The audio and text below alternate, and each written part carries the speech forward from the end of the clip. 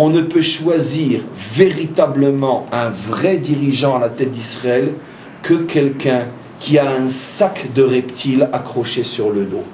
Parce que si jamais il se prend au sérieux, on lui dit tourne la tête et regarde ce que tu as dans le dos. Où est tombé Parce qu'il sortait de la cuisse de Jupiter. La tribu sur laquelle le temple va être construit. Il était le plus grand, le plus beau, le plus intelligent de tous, le meilleur. Le Superman a été choisi. C'est pour ça qu'il s'est cassé la figure.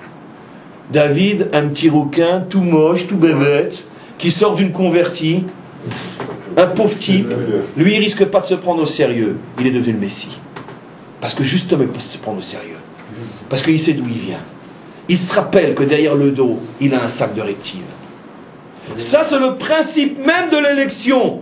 Ce que je vous révèle aujourd'hui, c'est le pourquoi du mécanisme. Pourquoi Lévi, justement, est une tribu qui n'a jamais fauté? Parce que justement, elle a fauté. Je réponds maintenant aux nations.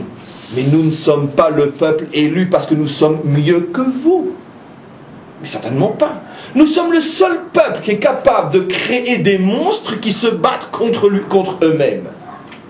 Vous connaissez un autre peuple à ce point tordu qui a déjà le monde entier sur le dos et qui produit des juifs qui deviennent le fer de lance de la lutte antisémite contre nous. Vous en connaissez un autre, un peuple à ce point tordu et ridicule Donc on n'est pas les meilleurs. Au contraire, regardez ce qu'on produit. Alors pourquoi malgré tout, oui, on a été choisi, que vous le vouliez ou non, et on est les seuls à avoir été choisis? Parce qu'on est des nuls. Et on le sait.